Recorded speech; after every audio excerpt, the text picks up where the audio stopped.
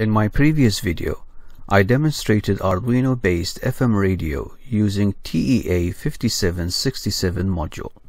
In this video, the system is modified where real-time clock is displayed on LCD screen.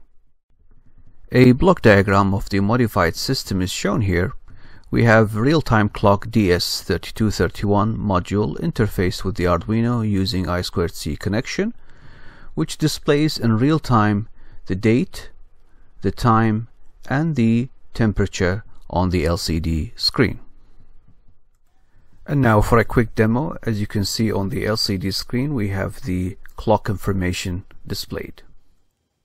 We press the on-off button to switch on the FM radio. We press the station button to select the required station. Pressing the button again will go to the next station. We press the mute button to mute the audio of the station. The screen displays stereo or mono, the frequency of the station, and the signal level. Pressing the on-off button will take us back to the clock screen.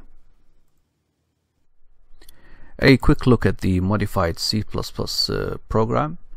We need to include these libraries uh, for the FM module, for the real-time clock DS3231 and for the LCD display.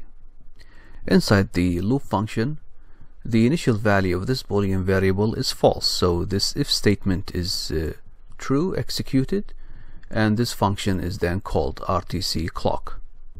Inside function RTC clock we get the temperature, the date and the time from the RTC module.